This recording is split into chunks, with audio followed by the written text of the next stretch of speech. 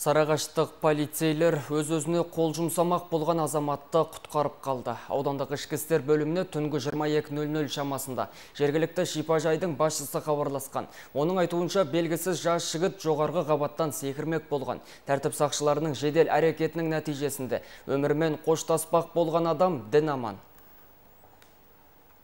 Полицейлер оқиға орнына жеткен бойда төртінші қабаттағы бөлмелердің бірінде балконда өз-өзіне қол салмақ болып, тамағын тіліп жіберген және қолына шыны сынықтарын ұстап тұрған жас жігітті көреді. Осы сәтте тәртіп сақшылары уақытты жоғалтпай, білдіртпестен шұғыл әрекет етеді. Олар келесі балконнан жасырын кіріп, жігітті құтқарып қалады. Құқық қорғаушылардың айтуынша бұл жігіт анасымен бірге Нұрсұлтан қаласынан Сарағашқа ем алуға келген. Шипажайға жақын жердегі туысының үйіне жайғасқан ол түн ортасында демалыс орнына жасырын кіріп, өз-өзіне қол жұмсамақ болған. Осылайша тәртіп сақшыларының қиын сәттегі қырағылықтары мен кәсіби шеберліктерінің арқасында 19 жасар жігіттің өмірін аман сақтап қалды. Қазіргі таңда жағдайы дұрыс, ауруханада жатыр. Өз кезегінде баланың туыстары полицейлерге алғыстарын білдіреді.